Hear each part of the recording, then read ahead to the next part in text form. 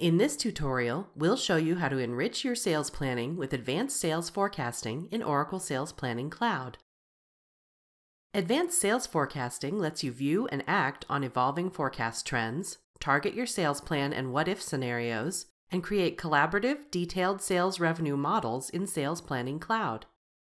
As a sales manager, you can make forecast predictions, view forecast analyses, and adjust forecast commitments across your entire sales hierarchy.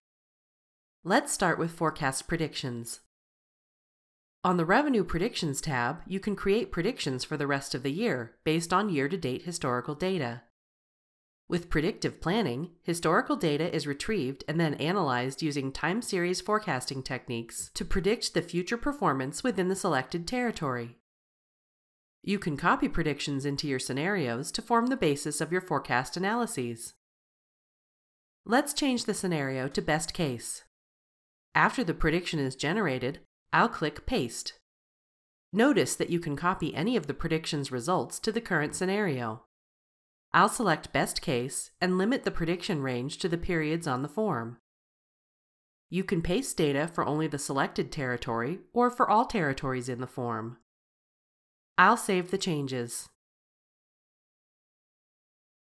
For more detailed predictions, the Predictions by Customer Product tab lets you analyze and dial your predictions in at the level of specific customers and products.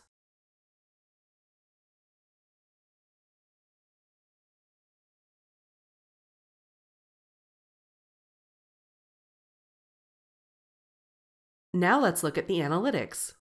On the Overview dashboard, you can view, by territory, an analysis of the current and last year's bookings, the forecast commitment, gross pipeline for sales opportunities, pipe to target ratio, and the predicted attainment percentage.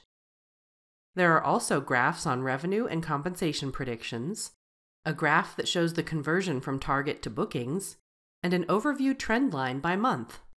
You can change the POV to view the overview analysis for different territories. On the Pipeline and Coverage tab, you can view a detailed analysis of pipeline data compared to target revenues, forecast commitment, and actual bookings. And on the Forecast Analysis tab, you can view an analysis of target and forecast revenue by customer account, product, and sales channel. Finally, let's look at adjusting forecast commitments.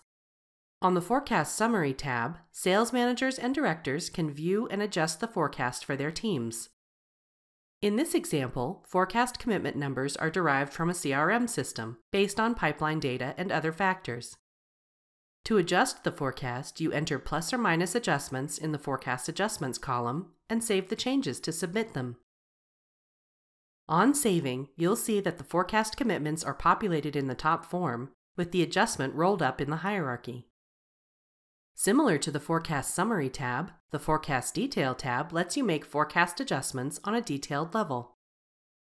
You can make specific adjustments by salesperson at the product and customer level. Let's say I know that Peter Branch is expecting the sale of a specific product to a customer in February. I'll enter the adjustment and save the change. Notice that a row for the new forecast commitment is added to the My Forecast form at the top of the dashboard. Thanks for watching.